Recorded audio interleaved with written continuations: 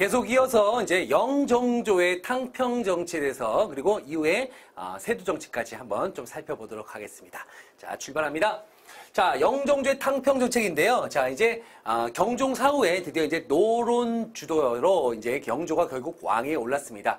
아, 근데 이제 그 이후의 모습은 이따가 잠깐 살펴보고요. 일단 숙종 때 탕평 정치부터 보겠습니다. 어, 선생님, 숙종은 탕평 정치가 아니고 황국 아닌가요? 그쵸. 정치적 상황이 황국이었고요. 숙종도 나름대로는 탕평을 추구했습니다. 아, 그니까 이분은 골고루 등용하기보다는, 어, 한쪽에게 권력을 자꾸 주고 또 한쪽에 권력을 주고 이런 식으로 골고루 양쪽에게 골고루 권력을 균등하겠다. 균등히 배부하겠다는 거지. 그러니까 골고루 이제 어느 세력을 같이 모아서 탕평을 한다는 게 아니고 한쪽에게 권력을 준다는 거예요.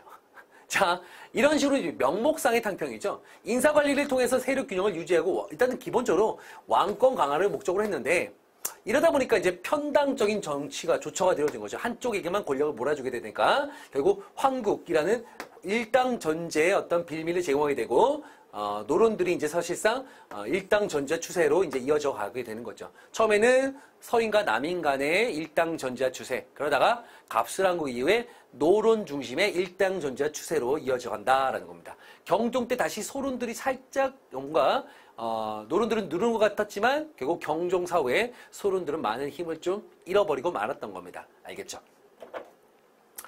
자, 자 영조로 가겠습니다. 이제 영조 정책으로 갈 텐데, 자 보시면요, 어, 영조는 이제 즉위 후에 이제 노비 자식이지만 그래도 뭔가 좀 탕평을 하고 싶었던 것 같아요. 그래서 어, 탕평을 하려고 합니다. 그래서 탕평 교서 즉위하자마자 탕평 교서를 발표하고 나 탕평할 거야라고 했는데 사실상 어떻게 보면 영조의 탕평은 어, 완만한 탕평이죠. 왜? 영조의 영조는 누가 결국 왕에 올려준 거예요. 아, 노론들에 의해서 왕이 됐던 인물이 바로 영조입니다. 그러다 보니까 사실상 뭐 탕평파를 구성했고요. 그 다음에 거기다 탕평하겠다고 탕평비도 건립하지만 어, 사실 이거는 어떻게 보면은 노론 중심으로 갈 수밖에 없어요. 어, 탕평파도 사실은 어떻게 보면 노론팔의 소론입니다.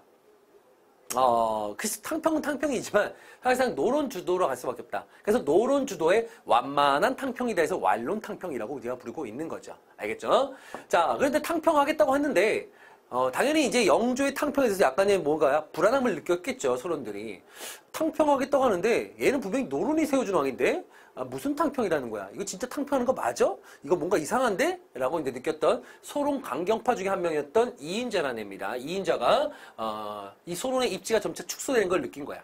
탕평을 하겠다 하지만 사실상 어, 노론 중심으로 탕평을 이러다 보니까 불안함을 느꼈던 이인자가 어, 남인 일부 세력들을 끌고 와갖고 반란을 일으킨 겁니다. 그게 이제 영조 집권 4년 만에 있었던 일이에요. 그게 뭐냐면 2인자의 난이 있어요. 요거는 이제 영조 때 있었던 2인자의 난. 어, 당시 탕평을 하겠다는 영조의 정책에 약간의 불안함을 느꼈던 소론 쪽에서 어, 이렇게 난을 일으켰습니다. 그러면서 이제 영조를 까는 거죠. 뭐라고? 너는 네가 경종을 죽였지.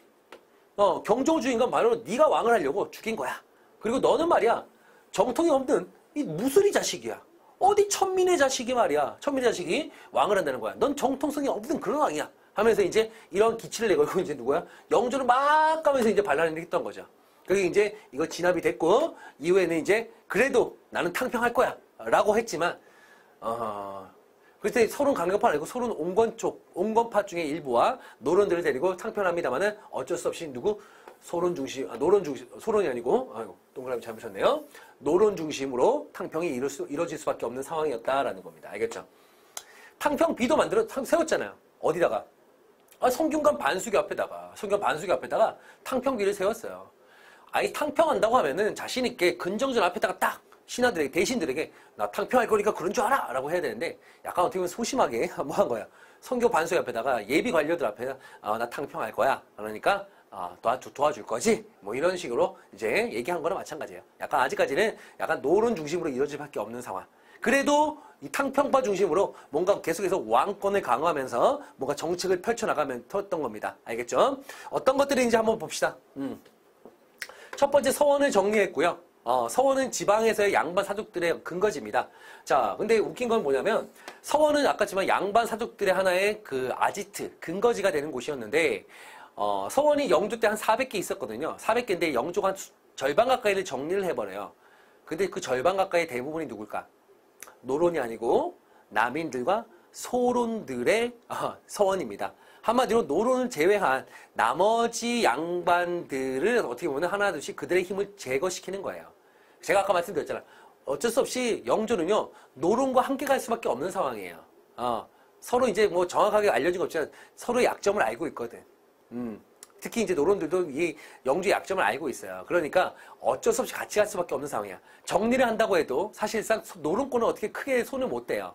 어, 그 소론 쪽과 이제 남인 쪽의 거를 이제 댈 수밖에 없는 손을 댈 수밖에 없는 거죠. 수술대를 잡아도 그쪽을 향해서 잡는 거죠. 그리고 2조 전랑 그 다음에 2조 전랑의 권한을 약화시킨다. 아, 2조 전랑. 왜냐하면 이거 이거는 이제 정족할 수 있는 영족할 수 있는 거지. 2조 전랑은 어, 인사권을 담당하는 그런 곳인데 주로 3사 선발권인데 3사는 보통 이제 권력의 독점과 부정을 방지한다. 자, 주로 이제 언론직이랬죠. 언관직인데 이 문제가 뭘까?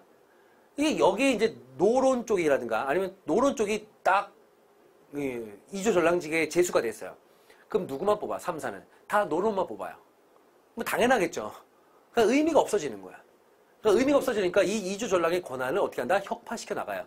물론 그래서 어, 후임자 추천권부터 해서 3, 4 선발권까지 다 없앱니다만은 요 후임자 추천권 같은 거는 다시 스멀스멀 살아나갔고 완전히 없어진 거는 정조 때 가서 없어집니다만은 어쨌든 이 이주 전랑은 사실상 그 의미가 사라졌기 때문에 아, 3, 4에 대한 선발권을 가지고 있지만 그 의미가 사실상 어, 퇴색된 거나 마찬가지이기 때문에 권한을 약화시켰다 이렇게 보시면 되고요.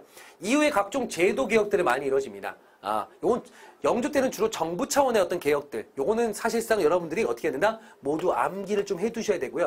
영조 엽적을 묻는 게 나옵니다. 자, 제가 지금 여러분께 말씀드리는 스토리 같은 것도 잘 기억을 해주셔야 돼요. 음. 자, 첫 번째 균역법 실시합니다. 균역법은 어, 당시 군역은 내가 알다시피 전쟁 나면 다 가는 거죠. 전쟁 나면 이제 소고군이라고 해서 전쟁에 다 참여하는데 평시에는 어떤가요? 생업에 종사하면서 어 그냥 돈 내고 빠지는 거야. 그때 돈이라고 하는 게 군포를 냈거든요.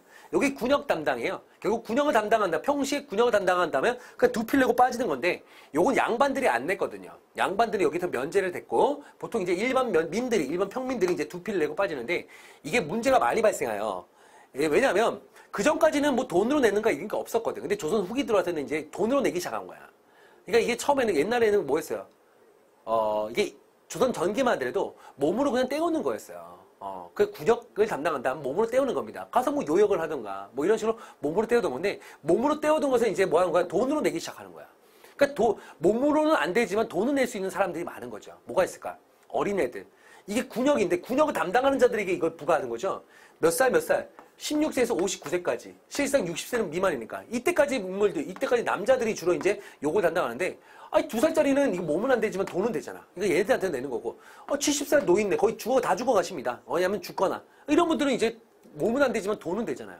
그러니까 이런 애들한테, 어린 애들한테 거둔 황급첨정, 이런 노인네들, 다 죽어가는 노인네들한테 내는 게, 어, 백골 징포. 그 다음에, 뭐 도망가면 이웃들에게 대신 내게 하는 게 인징. 친족들이 도망갔다, 치, 친족이 도망갔다. 그들 거 대신 내는 걸 어, 족징 이런 식으로 해갖고 부정들이 어마어마하게 발생합니다. 어, 부정들이 어마어마하게 발생하고 그래서 양역 변통론 이 역을 어떻게든 간에 변화시키자 어, 개혁을 해야 된다라는 입장을 취했는데 그러다 보니까 어, 뭐 많은 이론들이 나옵니다. 그 많은 이론들 중에서 뭐 양반들도 내야 된다 아니면 토지를 많이 가진 사람이 내야 된다 등등이 나옵니다만은 다 양반들의 반발로 다 이게 실현되지 못하고요. 결국은 뭐 한 거야? 한 필로 줄이자. 그러니까 디스카운트 하자 이거야. 50% 디스카운트. 요걸로 결론 내는 게 균역법이에요. 음, 역시 뒤에 가서 배우겠지만 대략적으로 이렇게 보시면 되겠습니다. 알겠죠? 그 다음에 이제 문물 정비합니다. 성종대 완성. 그 다음에 영조가 어떻게 하면 재정비했어요.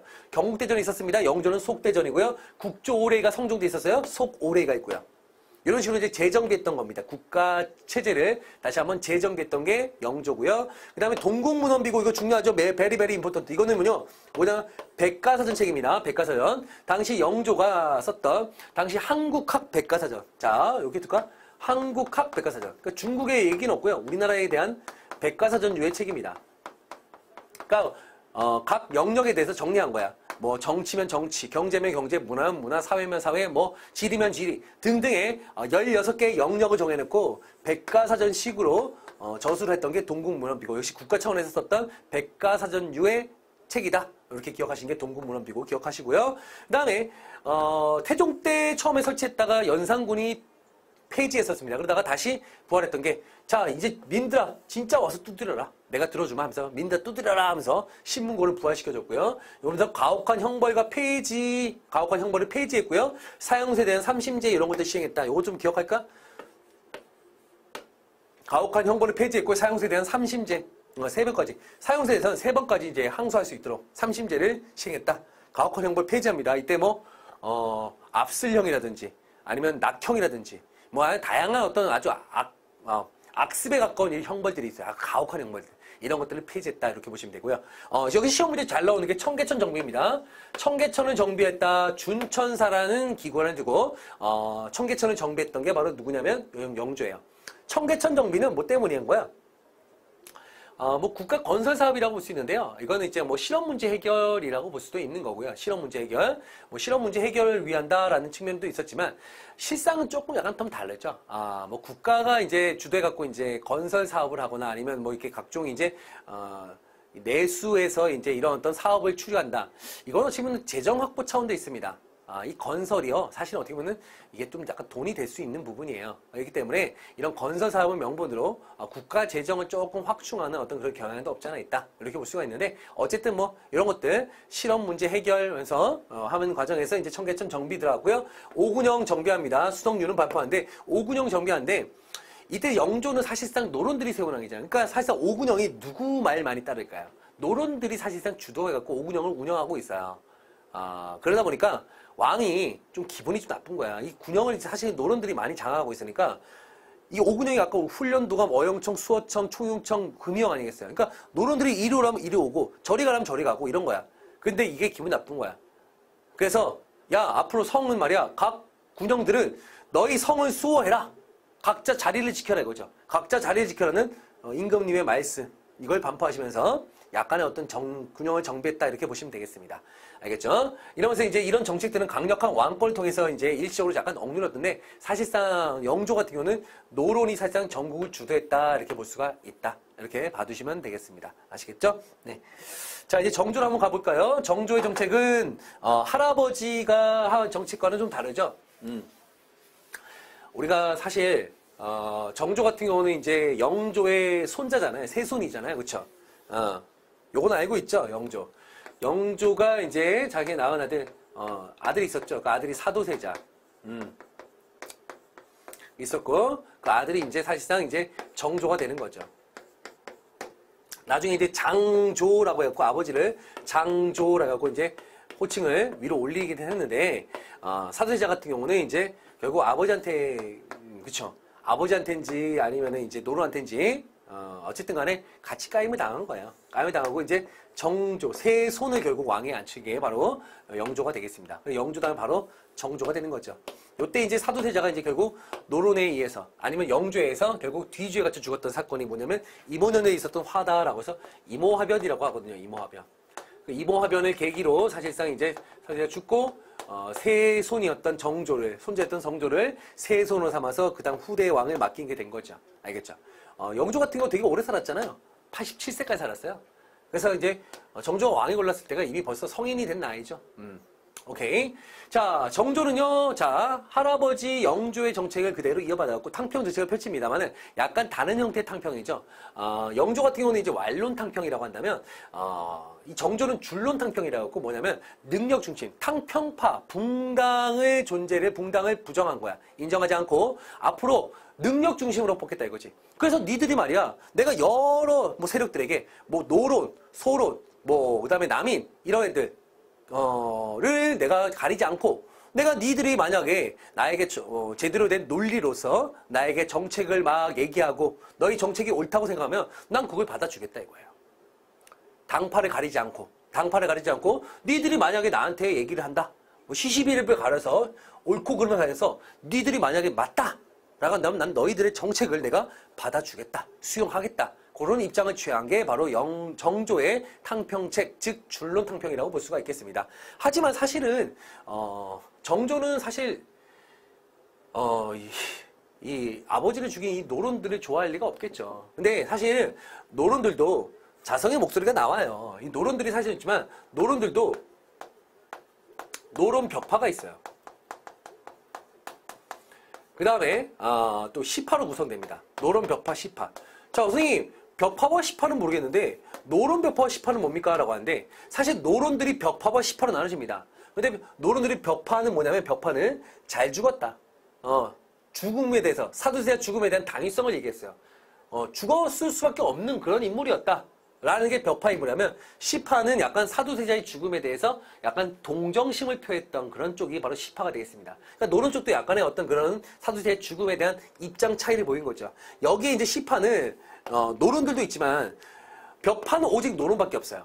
벽파는 오직 노론들밖에 없기 때문에 우리가 흔히 벽파 라인보다는 그냥 노론 벽파라고 하는 게 맞아요. 하지만 시파는 노론들도 있지만 여기에 가담했던 게 어, 소론들도 일부가 있었고요. 여기에 이제 나 아직 안 죽었어 라고 했던 남인들도 있었습니다. 일부. 그러니까 이들 자체가 어떻게 보면 다 시파직이 형성한 거지. 자 여기 이제 시파가 되고 이게 노론은 오직 벽파는 노론밖에 없다라는 거죠. 그러니까 그래서 벽파와 시파가 나눠지게 되는데 당연히 뭐 정조 입장에서는 누구 시파 중심으로 갖고 갈 수밖에 없는 거지. 그 중에서도 이제 남인 중심으로 이제 아, 조금 남인들을 이제 많이 참여시키는 겁니다.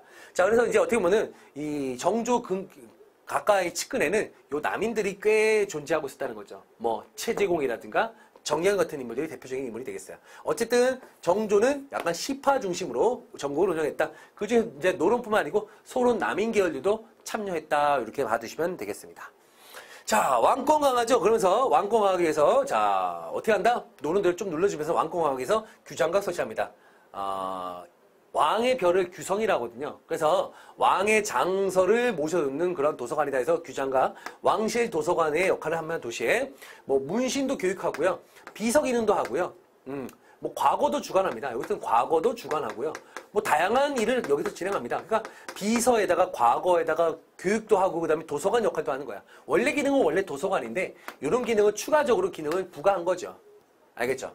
어, 특히 문신들을 교육하면서 문신들을 교육하는데 여기서 누굴 어떤 문신들을 교육하냐? 젊은 문신들. 어, 여기 보면 37세 이하의 당화관들을 교육한다라고 나옵니다. 37세 이하의 당화관들을 교육한다. 자, 이게 무슨 뜻이냐면요. 어, 40이 넘어간 부록이라고 하잖아요.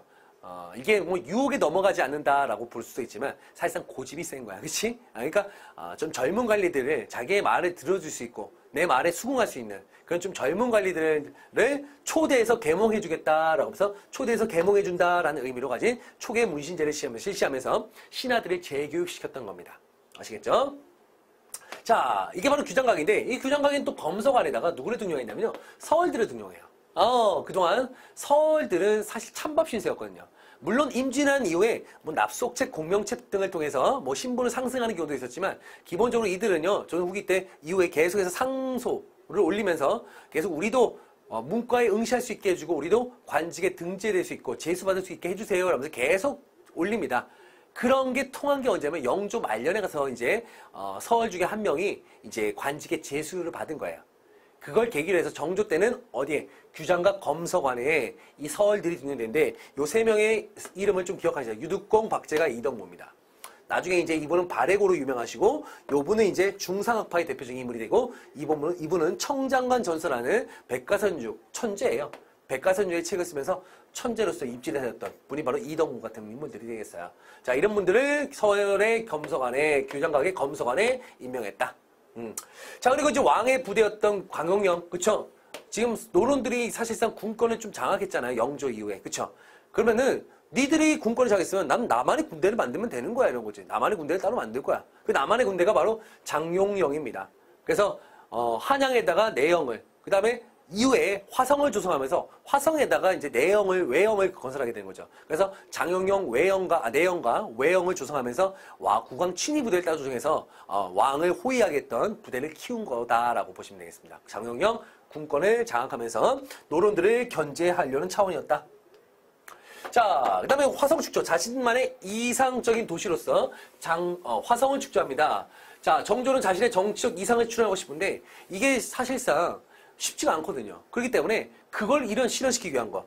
뭔가 새로운 그 개혁 정치를 하고 싶은데 이게 국가적 차원에서 하기 힘든 거야. 그러니까 화성에서만이라도 내가 한번 해보고 싶은 거, 과연 할 수 있는가? 그걸 한번 시범으로 한번 해보고 싶은 거지.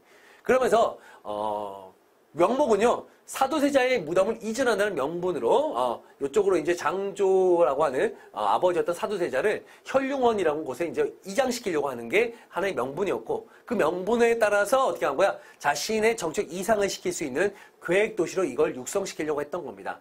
자.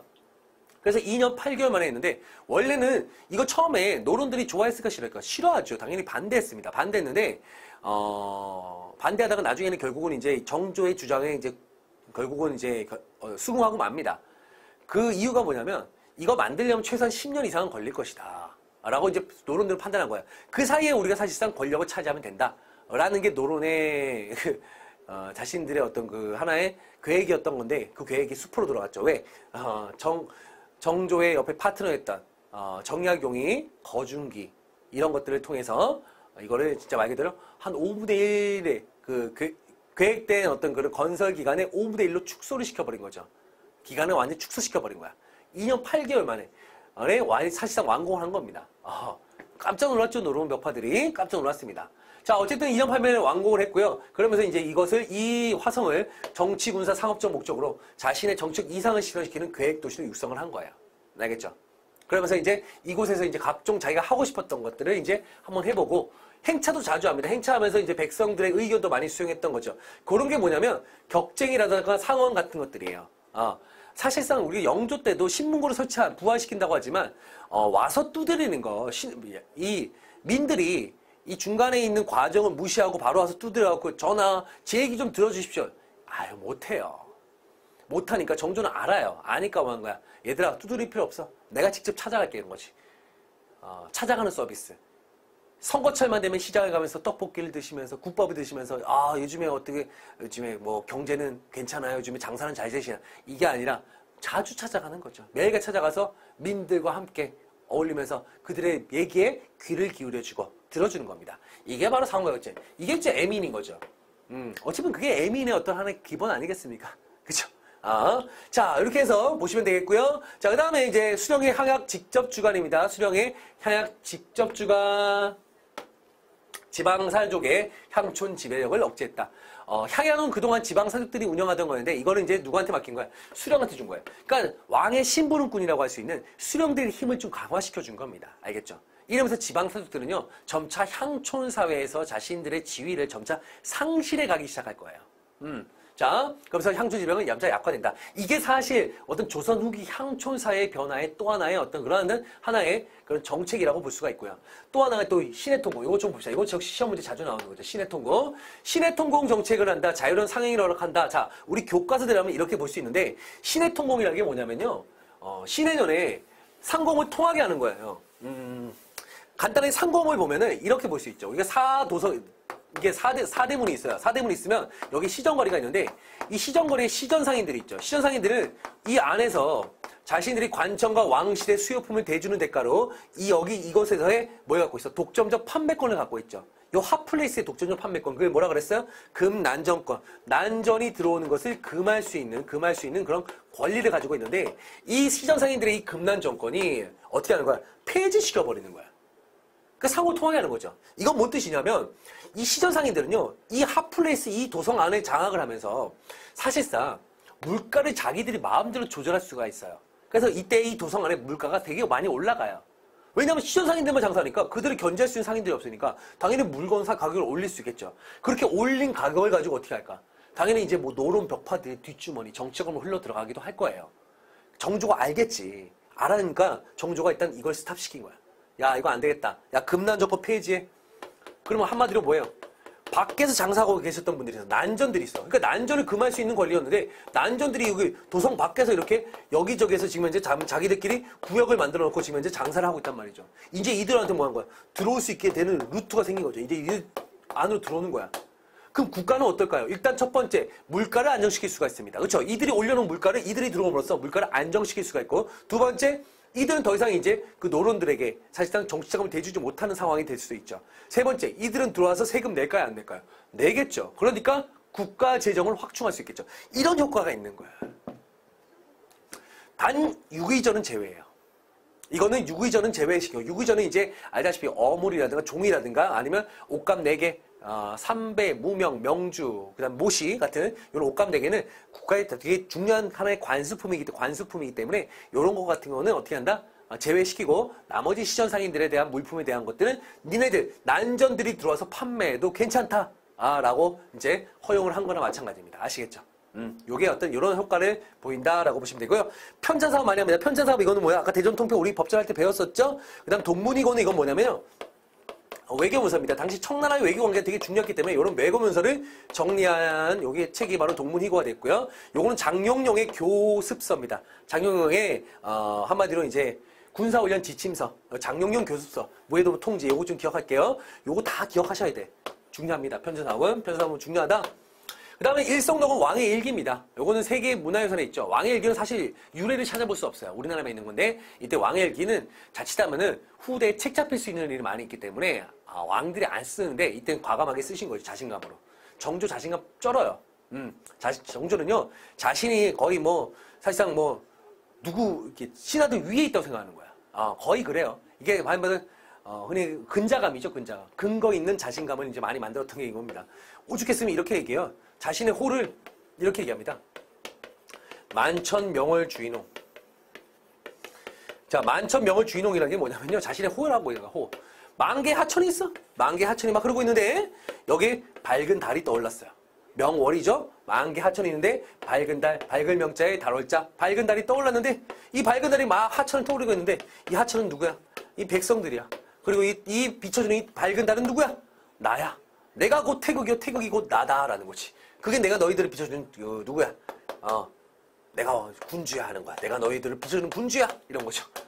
자신감 떨어요. 근자감 쩔입니다. 음흠. 자, 요게 이제 정조다라고 보시면 돼요. 정조는 하나보다 다르게 약간의 시시비비. 그만큼 똑똑하니까 가능한 거죠. 정조는 되게 똑똑할 수밖에 없는 게 뭐냐면 노론들이 어, 정조가 왕이 되는 순간 어, 사도세자를 죽인 게 자기 노론들이다라고 해갖고 노론 벽파들이다 해갖고 어, 자신들이 위협을 가할 수 있기 때문에 정조는 항상 암살 위기, 세손 시절부터 암살 위기에 항상 이게 시달려 왔어요. 그러니까 맨날 같이 이제 알다시피 우리 영리라는 사극 보면은 이제 맨날 쿠샵하고 운동하잖아. 그리고 어, 언제 죽을지 모르니까 잠을 안 자요. 그러니까 매일같이 공부야. 되게 똑똑해요. 어, 되게 똑똑합니다. 그러니까 이제 신하들하고 만약에 이 정치 토론이라든가 논, 어, 이게 뭐 정책에 대한 토론을 할 때 절대 안 져요. 어, 뭐 20대 1로 써도 17대 1로 써도 안 지는 거죠. 음. 자, 다음으로 가겠습니다. 세도정치 한번 볼까요? 세도정치. 세도정치는 뭐 딴 거 없어요. 정조의 각작선 죽음으로 11살에 누가 올랐다? 순저가 즉위했다. 권력의 핵심 왕의 역할을 수행 못하자 고위주 중심으로 이제 세도 가문들이 그쵸? 이거 보십니다. 몇몇 가문들에 의해서 권력이 집중된다라는 거죠. 물론 순조 초기 때는 어, 가문이 아니고 노론 벽파들이 권력을 잡았습니다만은 어, 권력 잡았으면은 어, 이후부터 안동김 씨, 풍양조 씨, 안동김 씨로 이어지는 어, 사실상 세도 가문들이 권력을 장악했던 시기 이때입니다. 순조 때는 안동김 씨가, 헌조 때는 풍양조 씨가, 철종 때는 안동김 씨가 다시 권력을 잡았어요. 이때 세도 가문들은요 왕을 선정할 때 왕을 딱 뽑을 때 딱 뭘로 가냐? 일단 어리거나 두 번째 멍청하거나 둘 중 하나입니다. 그리고 똑똑한 세자들은 다 어떻게 제거하는 거죠. 어, 우리 드라마 뭐 예전에 박보검 오래전에 나왔던 드라마긴 하지만 박보검의 구름이 그리는 달빛 그 효명세자로 순조의 아들이었던 효명세자가 왔는데 어떻게 해요? 똑똑하잖아요. 가만둘까요? 제거하는 거죠. 그렇죠? 그러니까 어리거나 그렇죠? 멍청하거나 그렇죠? 강화 노력이었습니다. 철종 같은 경우는 사실상 왕세자 교육을 세자 교육을 전혀 받지 않았었고요. 그냥 어, 나무꾼으로 지내던 인물이었는데 어, 다 죽여놓으니까 이제 왕족이 없는 거야. 그 중에서 이제 말 잘 듣고 같고 그냥 멍청하게 세워놓을 수 있는 왕이 필요한데 그 왕족 중에 이제 강화도에서 이제 나무꾼하고 있던 어, 요이 철종을 이제 불러들여갖고 왕에다 앉혀놓고 지들이 권력을 다 좌지우지하는 거죠. 강화도령이라고 불렀던 게 바로 철종이에요. 음. 자 권력 구조는 그들의 권력 구조는 비변사, 아, 그 다음에 훈련 도각, 그러니까 정권과 권력과 그 다음에 군권을 다 장악하는 겁니다. 아, 요게 이제 가장 핵심 기구가 되는 거고요. 정치기강은 물러나죠. 뭐, 딴 거 없습니다. 이 시기는요, 왕 바보고요. 그 다음에 신하들 정치하느라, 그치? 권력만, 권력만 지금 생각하느라 정치에는 관심이 없습니다. 어, 정치에는 관심이 없어요. 어, 권력만 차지하면 그만인 거야. 나라가 어찌됐든 자신의 권력만 유지하는 거죠. 그러니까 뭐 하는 거야? 뭐 새로운 세력에 정치하면 이런 거 비판하면 뭐 봉쇄합니다. 그리고는 돈만 주면은 관직을 매매하는 거죠. 어, 매매 성행합니다. 탐관 오리 향리대 수탈은 심화되고요. 삼정의 문란. 자, 요거 삼정의 문란은 잘 보셔야 돼. 삼정의 문란은 우리 교재에 있었, 있죠. 삼정의 문란 나올 겁니다. 거기 보면 삼정의 문란 해갖고 전정, 군정, 그 다음에, 어, 환정, 황곡이라고 있을 겁니다. 전정은 뭐예요? 보시면 알겠지만, 황무지에 세금 부과하고 부당한 명목으로 세금 징수한다. 그냥 땅에다 붙인 세금이에요. 그 땅에다 이제 세금을 붙였는데, 뭐 하냐면, 어, 사실상, 이게 세금을 막 거두는 거죠. 기본적으로 거두는 세금이 있을 거야. 땅에서 당연히 거두는 세금이 있겠죠. 그거 이외에도 여러 명목을 갖다 붙여갖고 세금을 거두는 겁니다. 군정은요. 군정 말, 어, 보시면 알겠지만, 군포를 내는 못하는 아이, 뭐 이웃에게 강제 징수한다. 족징, 인징, 황구첨정. 이게 더 심화되는 거죠. 우리 영조가 군포 두 필을 한 필로 깎아갖고 균형법이라는 걸 실시했잖아요. 그러니까 어쨌든 그래 두 필로 한 필로 깎았음에도 불구하고 어때요? 여전히 뭐 한 거야? 여전히 돈으로 내는 거예요. 근데 돈을 내니까 그래 좀 더더 많이 사람들에게 더 내게 하는 거죠. 음, 황구첨정. 아예 죽은 사람한테도 내게 하는 거예요. 어, 아, 시아버지 돌아가셨는데요? 그래도 네, 이런 거죠. 아, 얘 지금 가, 베넷말도 안 받았는데요? 한 살짜리인데요? 어떻게 군역 담당자가 아닌데요? 네, 이런 거예요. 이게 군정의 문란이죠. 그래서 이제 보면은 나중에 정약용이 쓴 그 애절량이라고 있어요. 애절량. 그러니까 안악내가 이제 슬피 우는 그, 그 어떤 모습을 하나의 한 시로 한문 시로 이제 지었던 건데 애가 이제 슬프를 자에다 절, 딸, 자를 절 자에다가 양, 양기를 자르는 거야. 엄마가 양기를 자르는 거야. 누구? 어린애, 한 살짜리 어린애의 양기를 자르는 거야. 그러니까 생식기를 자르는 거죠. 남자아이의. 왜? 어린애인데 군정 내야 되니까. 지금 시아버지가 시아버지 지 3년 사치는 지 지금 오래됐고, 게다가 어, 애는 말이야, 배냇물도 마르지 않고, 남편은 지금 죽었는지 살았는지도 모르는데, 3대가 모두 군적에 올랐다는 거예요. 남편은 지금 어떻게 된지도 모르는 상황인데, 군적에 올라갔고, 향리가 와갖고 뭐라고 하는 거야? 네, 이거예요. 애도 네, 다 남자지, 니네 집은 남자 3명이지? 이런 거죠. 3명인데, 군정의 그 군역의 부담에 해당하는 남자가 없는 거야. 지금 죽었는지 사는지 모르니까 그건 낼 수가 없는 거고. 아, 시아버지는 주라가 죽었는데, 모든 군정을 다 안 내냐고요. 그러니까 죽은 사람한테 세금을 내라고 하는 거예요. 어린애는 지금 이제 군, 11살짜리한테 무슨 군역을 하냐고. 이런 것들을 이제 표현했던 이 정약용의 시입니다, 정약용. 당시에 정약용의 이런 시를 통해서 당시 이 세도정책이 때 이 삼정의 문란을 볼 수가 있는 겁니다. 황국은 더하죠. 황국은 뭐예요? 춘대 추납으로 이제 빈민을 구휼하기 위해서 국가에서 이제 펼치는 어, 구휼 사업이에요. 근데 이거 뭐냐면 강제로 빌려줍니다. 그런 이자를 막 진짜 엄청난 이자로 받는 거죠. 사채업자처럼. 음, 이게 바로 이제 삼정의 문란이에요. 그래서 이거를 전정이다. 전세에 대한 분이고 군정은 군세에 대한 거예요. 군역에 대한 거고요. 황곡은 이제 환정이라 하기도 한데 그냥 황곡 해갖고 이 세 개를 우리가 삼정의 문란이다. 라고 이제 우리가 얘기하고 있는 겁니다. 당연히 이때는 뭐예요? 음, 밀란의 시대입니다. 소위 밀란의 시대. 우리가 밀란의 시대가 세 번 있거든요. 신라 말에 한 번 있고요. 그 다음에 어, 무신집권기 때가 대표적인 밀란의 어떤 모습이 아주 많이 발생해 밀란이 아주 많이 발생했던 시기고 이때가 엄청나게 발생하는 시기입니다. 홍경내난과 그다음에 어, 임술농민보기가 대표적인 이때 대표적인 밀란이 되겠죠. 요거는 뒤에 가서 자세하게 배울 겁니다. 이때 왜 어떤 왜 무슨 이유로 이때 일어나는지 요거만 일단 간단하게 좀 보도록 할게요. 요거는 이제 사회 파트 가서 볼 겁니다. 자 한마디로 19세기 사회적 변화와 개혁 능력, 의지를 상실하게 됐던 거죠. 자 이걸 한번 간단하게 볼게요. 교재에 있는 그대로 내용인데 자, 살인 정치, 살인 장판들이 붕당 정치 원칙인데 변질되면서 일당 존재야. 그쵸? 우리가 흔히 이게 근대 사회라고 한다면 정치에 참여하는 계층들이 적어지는 거야, 많아지는 거야. 더 많아지는 거죠. 그쵸? 우리가 이제 근대에서 지금 근, 우리 현대 사회에서 정치, 우린 정치에 참여할 수 있는 권리가 있나요? 있죠. 선거권을 가지고 있잖아요. 물론 일정 나이가 돼야 되지만. 그러니까 우리 정치라고 하는 거는 민주주의, 근대화 됐다는 얘기는 정치에 참여할 수 있는 계층이 많아진 건데 이게 점차 어떻게 돼요? 좁아지고 있잖아요. 그렇죠? 어떻게 보면 사실 우리가 근대 사회의 어떤 근대 사회에 관한 어떤 그 방향성에 방향에 역행하는 모습들이 거야 알겠죠? 음, 요런 것들이 이제 벌어진다라는 겁니다. 아. 자 어쨌든 집권 측의 변화한 모습 한번 좀 체크해 보시고요. 음. 대외 관계 한번 좀 살펴보도록 하겠습니다. 대외 관계. 자, 대외 관계를 보시면 일단은 청과의 관계 어떻게 변했는지 한번 볼게요. 앞에서 봤으니까 간단하게 좀 볼게요. 자, 효종 때 가장 왕성했다 뭐 한다 북벌로 청에 대한 적개심이 있었죠. 그 다음에 조낭양이 선력적 명분론으로서 우리가 청을 정벌해야지 명예 은혜를 갚아야지 뭐 이런 거예요. 그러면서 어, 청난 정벌하자고 하는데 했나 못했나 못했죠. 뭐 했습니까? 결국 서인 정권 북벌한다는 거 군대만 켜놓고 결국 서인 정권을 위한 군대가 돼버린 거고 결국 어떻게 된 거예요? 러시아 정벌하러 가기 위해서 러시아 정벌 차원에서 오히려 청나라를 정벌하러 만들었던 그 부대를 청나라를 도와주러 가는 이런 황당한 일이 발생했던 게 효종 때 북벌론이었었죠. 이렇게 자, 북학. 근데 오히려 이때 북벌을 얘기했는데 어쨌든 우리가 형식적으로 표면적으로도 일단 청에 대한 사대 관계가 계속 유지되고 있는 거잖아요. 군신 관계는 계속 유지가 되고 있는 거예요. 마음속으로는 청나라 새끼도 죽여야지 하겠지만 일단 군신 관계가 이제 체결되었고 우리는 사신을 계속 파견합니다. 그러다 보니까 이 사신들이 이제 청나라 갔던 사신들이 생각이 많이 변화가 일어난 거야. 야, 청나라 그냥 오랑캐인 줄 알았는데 얘네들 우리보다 훨씬 더 문물이 발달되었네? 라는 것을 우리가 어느 정도 인지를 한 거죠. 그래서 청문화에 발달된 그런 것들을 배우자. 어, 우리가 그들의 문물을 배우자, 상공업을 진흥시키자. 이러한 약간 북학 쪽으로 이제 약간 일부가 바뀌어 나가기도 합니다. 그래서 북벌하다가 아, 북학론을 어, 제기하는 분들도 나타난다라는 겁니다. 모두가 그렇다는 거 아니에요. 일부가 이제 북학론, 을 제기하면서 어, 청을 배우자, 청의 상공업을 진흥시키자라는 쪽으로 변화되는 모습도 보인다. 요게 이제 뒤에 가면 중상학자들이라고 하거든요. 그들의 모습을 한번 살펴볼 겁니다. 자, 백두산 정계비는 이거 숙종 때 이거 역시 어, 출제 빈도가 높아요. 음, 숙종 때라는 거 일단 기억하셔야 됩니다. 음. 자, 숙종 때 백두산에다가 경계를 정한다라고 해서 경계를 정하는데 어디 경계를 정하냐? 간도에 대한 특히 이 어, 간도 지역에 대한 귀속 문제 때문인데요. 자, 한번 제가 지도를 통해서 한번 살펴보도록 할게요. 보시면은 여기가 백두산이에요. 어, 백두산. 백두산이고 한데 요 백두산에다 비석을 하나 세운 거죠. 비석을 하나 딱 세우거든. 비석을 세우거든. 여기다가 이제 뭐 한 거야? 어, 내용을 적어 놓은 게 서위 압록 동이 토문이라고 해요. 서위 압록 동이 토문. 그러니까 뭐냐면 서쪽에 위치는 압록강으로 동쪽에 위치는 토문강으로 하다는 얘기야. 국경을. 자, 근데 국경 문제인데 이게 지금 딱 보시면요.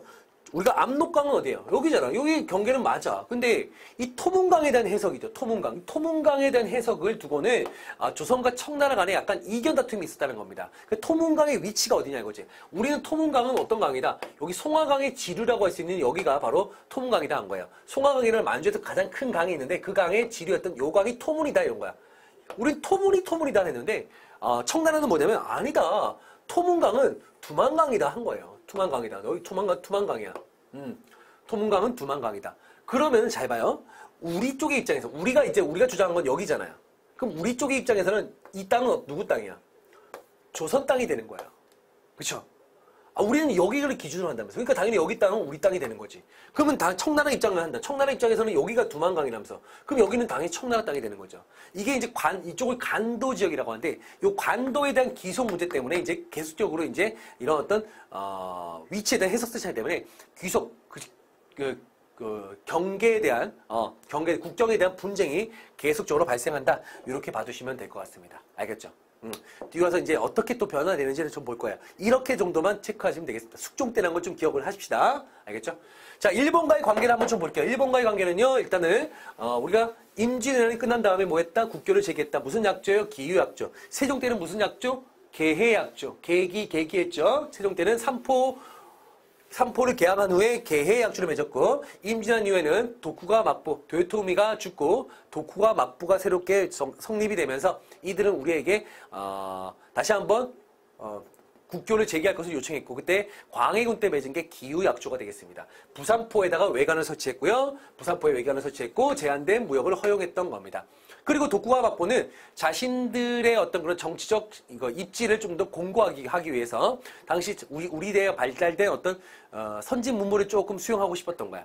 그러니까 어, 우리의 선진 문물을 받아들이면서 아 내가 말해 조선의 저런 어떤 선진 문물들을 내가 어, 초청을 했어 하면서 자신의 입지를 좀 강화시키려는 아, 자신의 입지를 좀 강화시키려는 그 다음에 국제적으로 인정받기 위한 그런 차원에서 우리에게 통신사 파견을 요청하기도 했었습니다. 최근에 요거는 어, 한일 공동 그 공동으로 해서 결국은 세계 어, 문화유산에 등재가 됐던 거죠. 알겠죠? 통신사 파견은요. 자, 쇼군의 권위를 당시 쇼군은 막부의 짱을 쇼군이라고 합니다. 국제로 인정받기 위해서 파견을 요청했고 12회에 거쳐서 합니다. 12회에 거쳐서 이제 파견을 했는데 요거는 12회인데 다 몇년 동안 12회? 200년 동안 거의 200년 동안 12회니까요. 이거는 매년마다 간 게 아니에요. 그때 그때 요청할 때마다 간 거니까 어떻게 하는 거야? 비정기적인 살단. 정기적인 살단 아닙니다. 비정기적인 살단이야. 알겠죠? 뭐 한 거예요? 문화 전파한 겁니다. 음, 문화 전파. 자, 그 다음에 이제 우리가 울릉도 독도를 간단히 보시면 이건 울릉도 독도 같은, 특히 독도 같은 경우는 이제 일본과의 어떤 마찰이 심했던 그런 곳이 바로 독도죠. 안영복이 이제 항해로 우리 영토임을 확인했던 게 안영복은 뭐냐면 울릉도 어부였어요. 근데 자꾸만 독도라든가 울릉도 군에 일본 어부들이 나타나서 자꾸만, 어, 이 고기 잡이를 많이 하는 거야. 그래서 직접 배 타고 건너가서 일본 막부에게 뭐 한 거야? 항해한 거예요. 그 숙종이 알게 된 거지. 그 숙종이 알게 돼갖고, 야, 네가 갔다 왔다면서, 알았다. 너 한 번 더 갔다 와라 한 거지. 왕명을 받아서 한번 더 갑니다. 그러면서 우리 영토의 힘을 확인받고 왔던 인물이 당시 안용복이라는 인물이에요. 음. 그리고 이제 대한제국 때는 칙령 41호를 발표하시면서 당시 고종이 아 독도는 우리 땅이야. 당시 울릉도를 울도군로 시켜시키고 그 관할 구역 안에다가 독도를 집어넣습니다. 관할 구역 안에다 독도를 딱 집어넣었던 게 칙령 41호 우리의 영토의 힘을 확실하게 밝힌 거죠. 자, 오케이. 이거 가능했다. 그 다음에 이윤대 러일 전쟁으로 사실은 강제 편입했던 거죠. 당시 러일 전쟁 중에 일본이 강제 편입했다는 얘기는 이 지금 사실은 우리 영토임을 알고는 편입했다고 하면 사실 돌려주는 게 맞는 거죠. 우리 우리에게 땅을 돌려줬듯이. 근데 일본은 당시 이게 지금도 아직까지 독도를 자기네 땅이라고 계속 어, 우기고 계속 주장하는 이유는 뭘까? 이유는 딱 하나예요.